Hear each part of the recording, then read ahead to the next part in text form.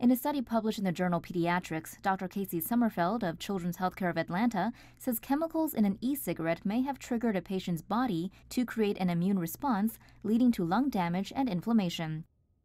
Sommerfeld said the immune response in the patient led to increased inflammation and leaky blood vessels, which in turn can lead to fluid accumulation in the lungs. The teenager exhibited symptoms of coughing, difficulty breathing that was quickly getting worse, and sudden stabbing pains in her chest every time she inhaled or exhaled.